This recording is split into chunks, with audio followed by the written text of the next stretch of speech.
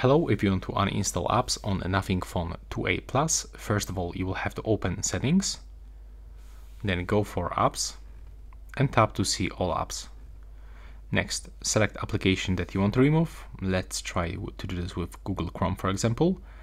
As you can see this one we actually cannot remove because we don't have uninstall button. But uh, let's check for this one for example. There we go. Now we can click uninstall and click OK to actually get rid of this application.